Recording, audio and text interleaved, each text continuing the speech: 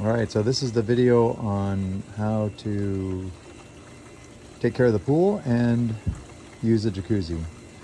This is the remote. The green light is next to pool. If you want to use the spa, you hit this button over here, the top one.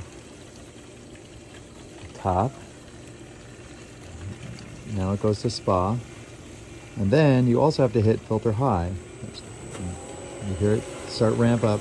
Then the heater will click on. Now to shut it off after you're done, you hit filter high off.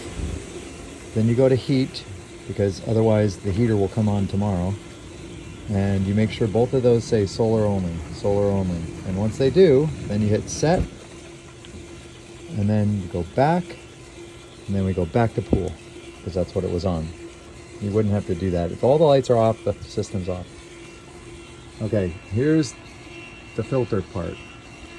This gauge right here that says 670 means there's plenty of chlorine. When it gets to 445, while the filter's on, if it gets down to 400s, add a gallon of chlorine. And that's it. The other thing is doing it automatically. This thing is adding muriatic acid automatically, so you don't have to do anything there. Um, and that's it. Everything else is good to go.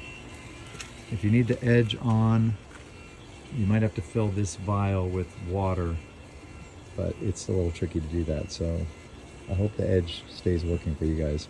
All right, talk to you soon. Bye. Love ya.